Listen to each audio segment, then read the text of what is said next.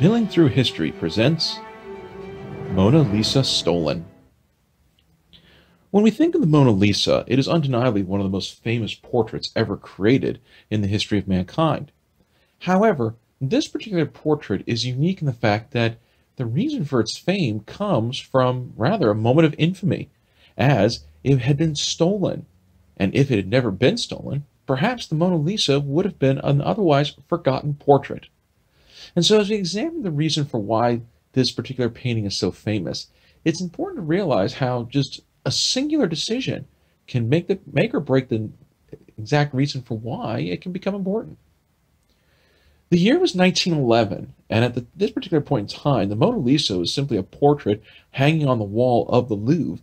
And for most Parisians or other worldwide visitors that came to the museum, it was a portrait which really was almost overlooked. As a result of this, because very few people were looking at it, it was also a prime object to be stolen, namely by a former employee who realized there was an opportunity to not only make some money, but also make a name for himself.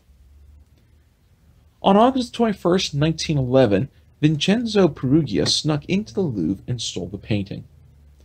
According to Peruggia, he wore a white smock which had been worn by the employees of the museum and entered the building at the start of the day when everyone else was arriving for work.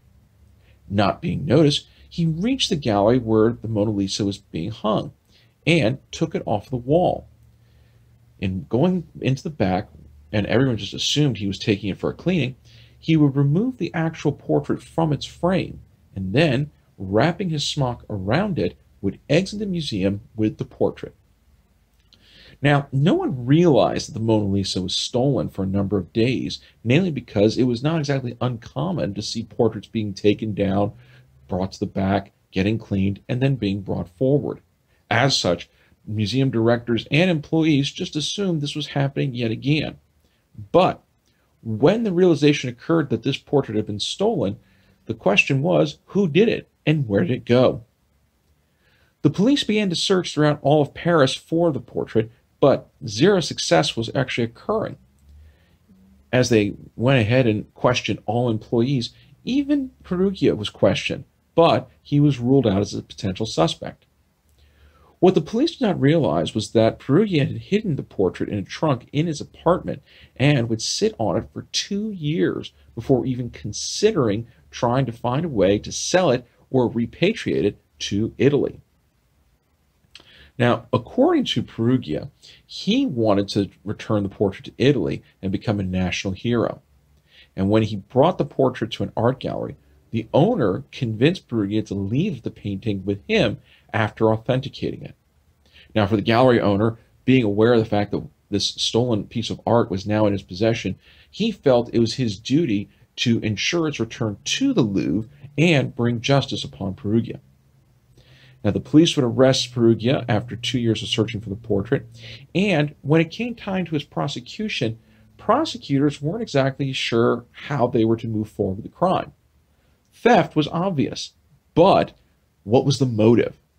Peruggia said he was trying to be a national hero and return a stolen piece of art back to Italy where it was originally created. And yet, there had been testimony that said Peruggia was also trying to find a way to make a great deal of money to ensure his own financial stability going forward in life. Prosecutors couldn't prove one way or another the motive for the crime, but they were at least able to get a conviction on the theft itself. As a result of this, Peruggia was sentenced to only seven months in prison for stealing this, at the time, little known portrait. The unintended consequence of the theft, though, was that the painting became far more valuable and even more famous. And as such, tourists flocked to the Louvre in order to see the famed Mona Lisa, and for years it continues to be a massive draw, even to this date.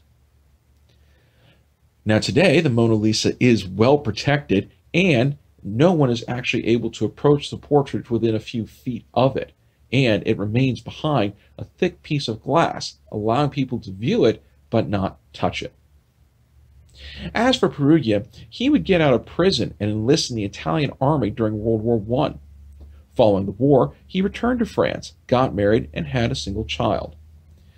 By this time, he went back to his birth name of Pietro Peruggia and would pass away on October 8, 1925, with very few people even realizing who he was and that he was the man responsible for turning the Mona Lisa into a little known portrait and rather the most famous portrait in all the world. For more information, please consider these suggested titles. Be sure to click on the left-hand side of the screen to subscribe to our show, and on the right-hand side for our latest episode. And we will see you again for the next episode of Milling Through History.